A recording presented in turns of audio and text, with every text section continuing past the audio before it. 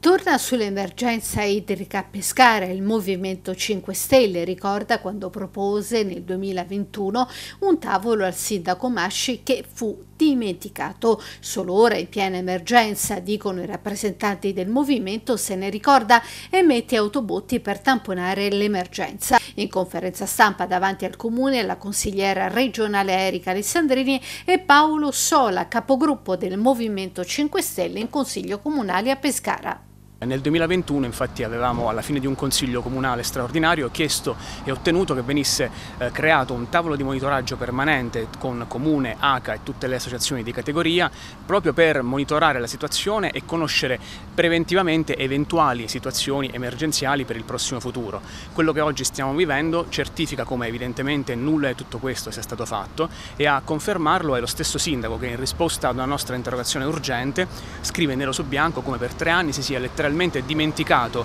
della possibilità di vivere una nuova emergenza idrica come quella appunto che poi eh, abbiamo vissuto e in questi ultimi tre anni l'unica attività è stata quella di convocare il 18 luglio scorso una riunione con ACA e ERSI per fare un punto sulla situazione. Quindi gli unici interventi concreti sono stati quelli appunto di installare un serbatoio di 2000 litri nella scuola Virgilio in via di sotto pensando che questo potesse risolvere i disagi dell'intero quartiere Colli e quello invece appunto di ripetere costantemente come i privati cittadini eh, non possano fare altro che installarsi gli impianti autoclave, dimenticando di fatto come in molti quartieri, eh, penso ad esempio al centro storico, a Porta Nuova, proprio la conformazione di, queste, di questi fabbricati non consente di realizzare impianti eh, di autoclave se non con delle deroghe che a questo punto chiediamo che sia il Comune a concedere, perché così come è stato fatto per i balneatori nelle scorse settimane, a cui è stato consentito di installare serbatoi aggiuntivi nelle strutture fino alla fine della stagione balneare, martedì nel prossimo Consiglio Comunale presenteremo un ordine del giorno in cui chiederemo